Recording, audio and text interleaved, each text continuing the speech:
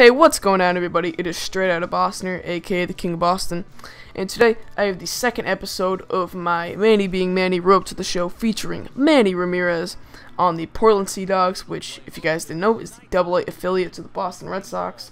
So if you guys missed episode one, basically created recreated Manny Ramirez, and I put or I entered him in the draft, and he got selected by the Boston Red Sox.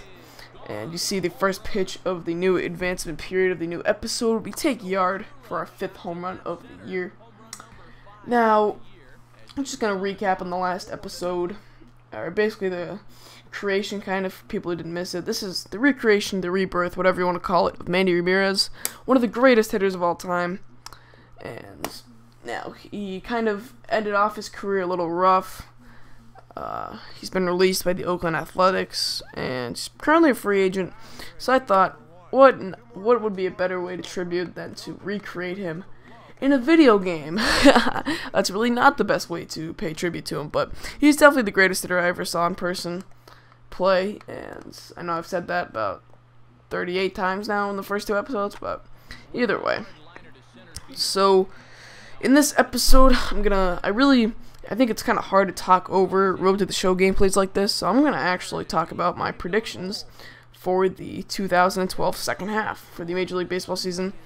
Because this video is going up on Friday, which is the official start of the second half of the season. Now, my predictions, I'm going to kind of make some predictions for playoff hunts and maybe World Series. Start off in the AL. Now, I'll go division by division. The AL East, I think the Yankees are going to take that division. I don't see Baltimore and Tampa Bay hanging around. I think they have too many holes in their team. Tampa Bay definitely does not have enough offense. I think Toronto's just going to hang around, really not do anything more than maybe end up two or three games above 500. And as for my Red Sox, well, uh, the epitome of uh, what's the, what's the word my dad likes to use? I can't remember it.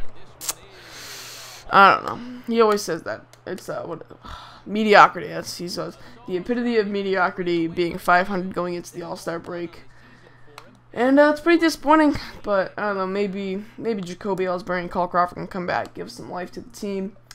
Maybe Josh Beckett give me the old Josh Beckett. I don't know. I don't have. I'm not gonna get my hopes up. Let's put it that way. but moving on to the AL Central. So currently the White Sox lead the division. However, I believe they're gonna fall out of the race, and the Detroit Tigers are gonna overtake them. I think the Tigers have had a lot of guys underperforming in the first half, and I think Austin Jackson is huge for them. Once he came back from the DL, they really started playing well, playing a little bit better, and they've what are they two or three games over 500 at this point. Uh, nice voice crack there, haha. anyway, so I think the Detroit Tigers are going to come back and win that division. I believe they will overtake the Chicago White Sox. And for the AL West, now, I know the Rangers have the best record in baseball, but I believe that the Angels are going to take one of those wild card spots, the Los Angeles Angels of Anaheim. And I think they might challenge the Texas Rangers in the playoffs. I they have the second best record since May 1st. The only team with a better record than them is the New York Yankees since May 1st. Uh, the Angels are 39 and 23 since that time, whereas the Yankees are 40 and 24, I believe. Uh, I think so, or maybe it's not sure. Maybe it's 40 and 23 and 39 and I don't know. It's those four numbers somewhere like that, but it, you get the idea. So I think the Angels are playing extremely well, good baseball. I think they're a very deep team. And I think it's going to be interesting to see. I would love to see an ALCS of Angels versus Tigers. That'd be great to watch, except all the games wouldn't start till about 11, but oh well. Maybe, uh, well, I don't know, maybe they would start like 9. I'm not sure. But so that's pretty much going to do it for the AL. Moving on to the NL, the National League, the winners of the 2012 All-Star Game. And the NL pennant winner will definitely have home field advantage for the 2012 World Series, which would be a good advantage. Now, for the NL East, this this this race is wide open. I don't see the Phillies coming back. I think they've just uh, I don't know. I don't I don't like their chances of you know kind of turning around the ship and riding the ship, I should say, and making a run for first place. The Mets, I don't know. I don't know how long they're gonna stay in this thing. See, I think you know depth really comes into play in the second half, and it's not just your one through nine guys.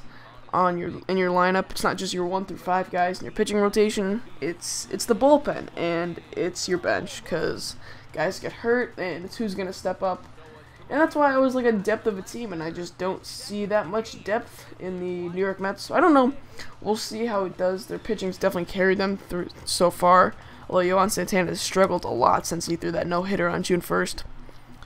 So I think the Braves might take that. I don't really see anyone else anyone else contesting. Oh wait, ah, I forgot about the Nationals. I'm stupid. The Nationals are definitely winning that division. That's for sure.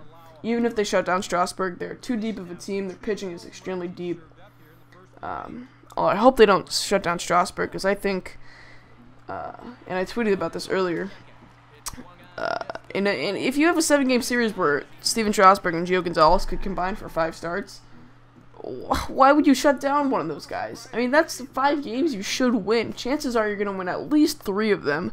Then all you're asking for is Edwin Jackson or Jordan Zimmermann to eke out a win, and you're set. I mean, that's that's a serious win. You could do that against any team in baseball. So I hope they don't. Uh, I hope they don't shut them down.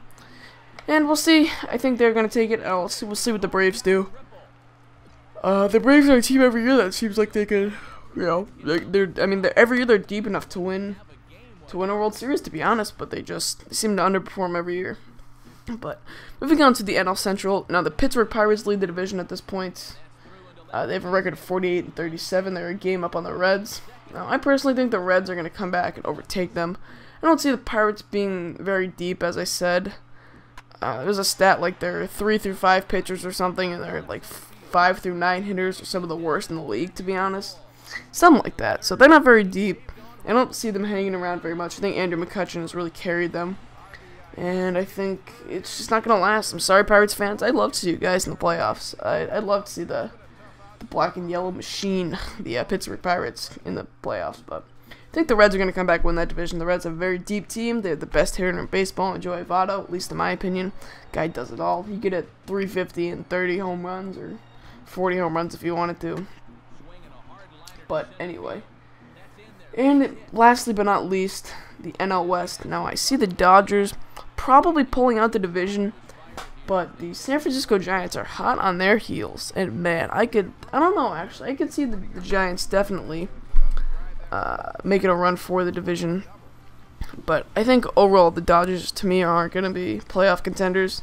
I don't see their, I see a lot of pitchers and hitters have stepped up but I don't see that.